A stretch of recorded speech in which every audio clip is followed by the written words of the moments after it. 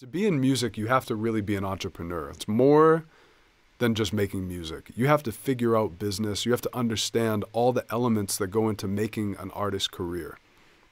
So in music, especially nowadays, there's there's many routes you have to take to earn income. You have to look at it as multiple streams of income.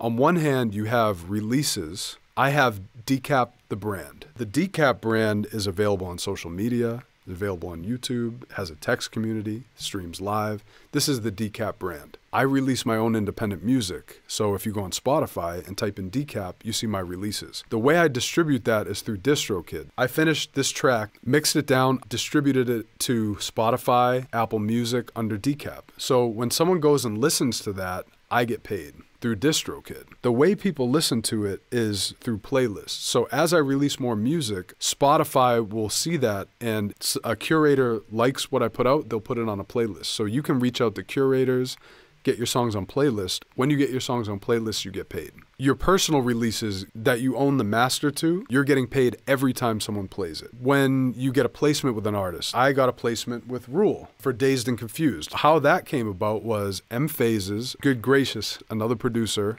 homie of mine, hit me up and he said, Hey, I'm working on this track with Ruel. Shout out to everyone else on the track, Matt Noble, to Sean, who uh, played guitar on it. I played a lot of the strings and the chorus. I played live drums on it. You can hear some drums that knock in it. We ended up getting a platinum record. That song went platinum. So that's income. I have placements with, you know, Joyner Lucas, Talib Kweli, Snoop Dogg, so many people. And that is money. You get upfront money sometimes. Other times you can negotiate part of the master. You have your solo releases that you own the master, which might be beats. You have collaborations and placements. This one went through Sony Records. So I got paid directly from Sony. And then you have artists that you work with, like someone in the chat, Crispy D. We're going to be doing a song together. We've never done a song together. We've been talking about it. We're going to put out a record together. The way we're going to do it is other people in the song, and we're going to split the master, and we're all going to get paid based on how the song performs. We're going to release it independently. I'm going to upload it, and it's going to get distributed. Everyone who's a part of the song who has a piece of the master is going to get paid. So hopefully the song does well so we all get paid well. Releasing music, then on top of that, there's brand deals. I've done deals with Ableton. I have another brand. So there's Decap brand and then there's Drums That Knock. That's a separate entity. So when I release kits, producers download my kits from drumsthatknock.com. When someone goes here and buys a kit, I get paid. Another way is partnerships. If you go to akaipro.com, go to products, you can buy my kit with Akai for any MPC users. I licensed my kit to Akai,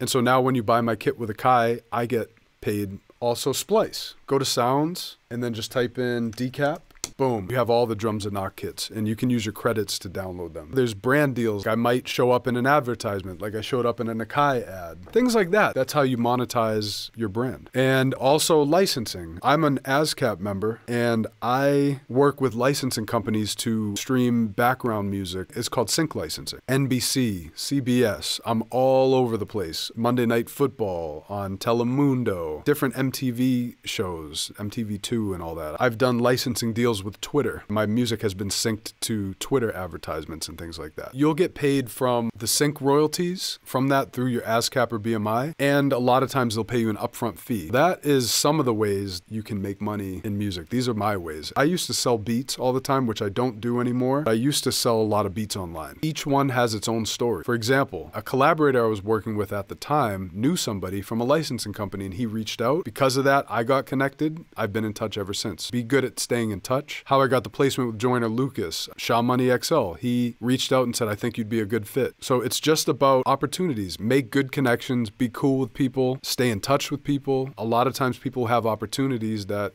they will bring your way. I've been in this game for a long time. I mean, I've been making beats since I was 15. Don't expect all this to happen overnight. It just doesn't. It happens over time, and if you stick with it, it's cumulative.